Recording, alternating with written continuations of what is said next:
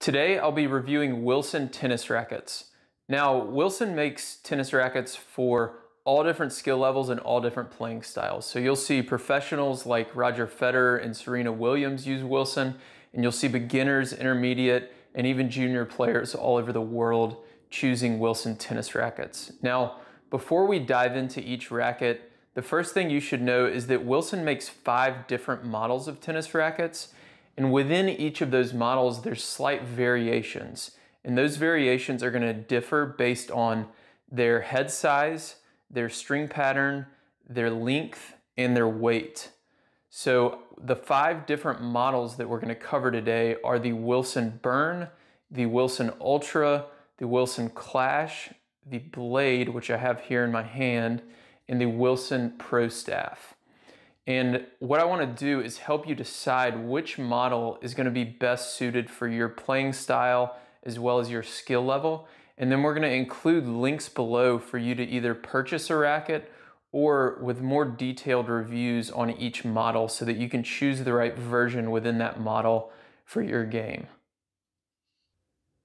So the first two rackets we'll review are the Wilson Burn and the Wilson Ultra.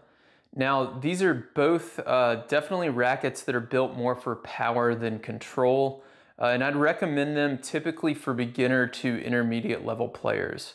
Uh, some advanced players who prefer a lighter weight racket and something that's able to generate a whole lot of power uh, might like this as well, but in general, they're gonna be better for that beginner to intermediate level range. Uh, some of the benefits of the Ultra as well as the Burn um, they both have a pretty stiff frame, so that's going to create a pretty explosive feel on contact with the ball. Um, it's gonna help you generate a lot of power. All of the energy from your swing is going to go into the ball. So you'll be able to create good depth from the baseline. Uh, they both have pretty open string patterns. Uh, they are 16 by 19 string patterns.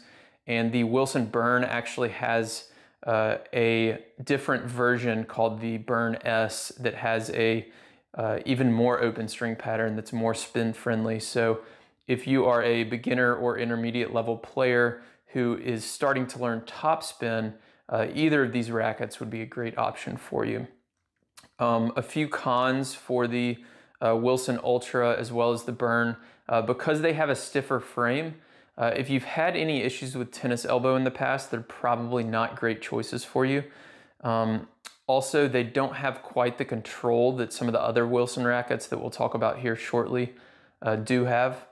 Um, if you're playing higher level tennis, uh, if you're trying to defend against anything that's kind of fast paced coming at you, um, you're not going to have the control or stability that you would get in a more advanced kind of control based racket. So uh, when I played with uh, this Wilson Ultra here, um, I didn't really like it a lot from the net on my volleys. Uh, I was playing against 4.5 and 5.0 players, so they were able to hit the ball pretty hard at me, and I didn't feel the stability or the control that I really like um, on volleys uh, and even returning against big serves. So um, overall, these are definitely great rackets for power kind of baseliners. Um, and they are both pretty easy to handle, so that makes them great for uh, beginner and intermediate level players.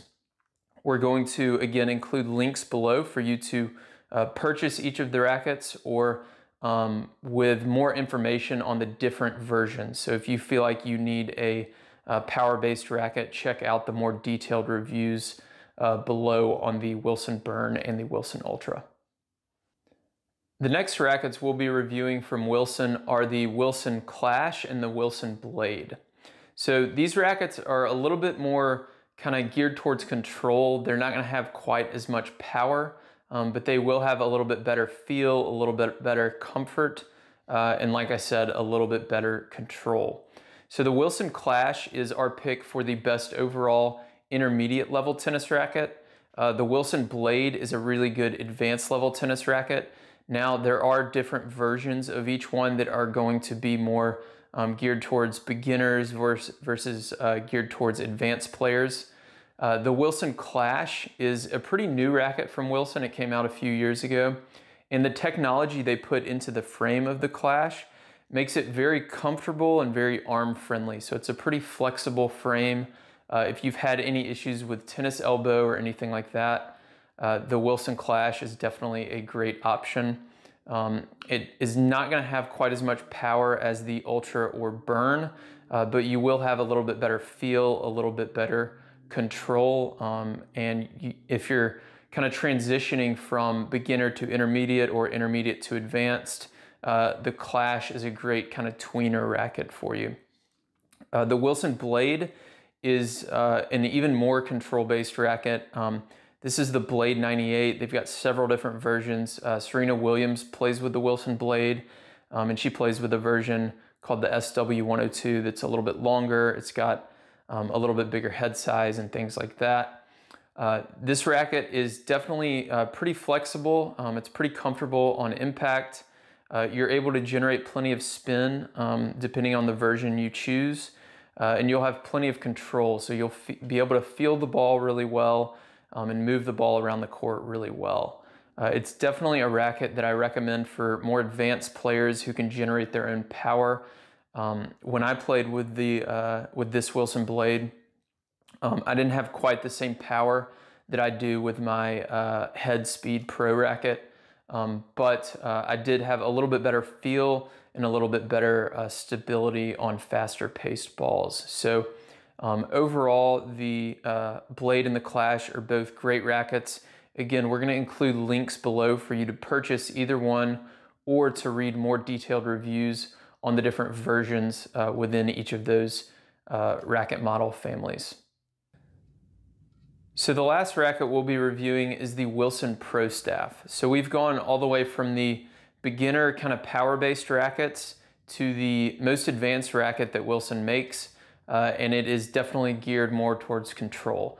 Uh, so the Wilson Pro Staff, uh, you won't be able to generate a ton of power, but you will be able to move the ball around the court uh, with precision. Uh, Wilson worked with Roger Federer to design this racket. Uh, he uses a version of this racket that I'm sure is pretty customized to his specifications, but um, it has a 97 square inch head size a 16 by 19 string pattern and it is definitely a pretty heavy racket.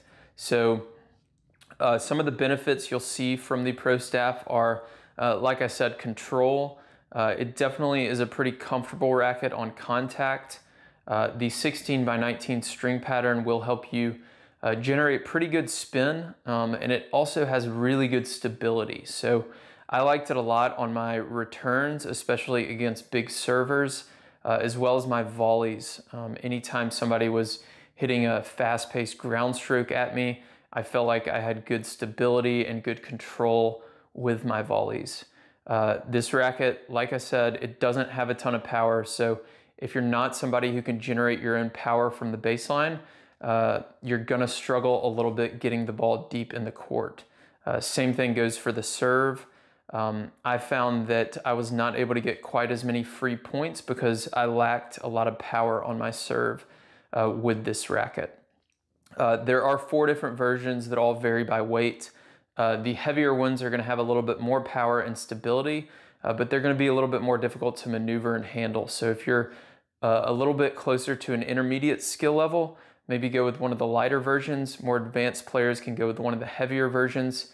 Again, we're going to include links below with uh, details on um, each different version as well as to, uh, to purchase the Wilson Pro Staff. So uh, hopefully this helped you decide which Wilson tennis racket model is best for you.